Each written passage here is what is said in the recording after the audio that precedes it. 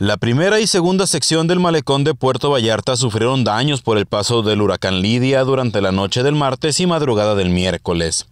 El principal atractivo de la ciudad amaneció con decenas de árboles tirados sobre el paso peatonal y algunas luminarias que sucumbieron por las ráfagas de viento.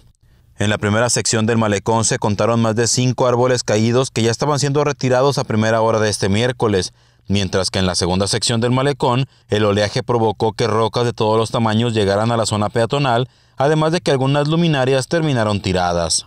También algunas fachadas de comercios fueron arrancadas por los fuertes vientos, aunque no hay personas lesionadas ni daños mayores. En la desembocadura del río Cuale tampoco hay hechos relevantes, únicamente troncos de árboles que fueron arrastrados por el río y un cauce elevado que no pone en riesgo a la población.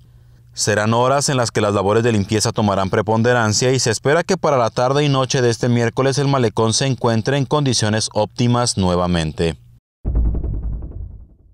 Con imágenes de Eliseo Cruz para CPS Noticias, Milton Colmenares.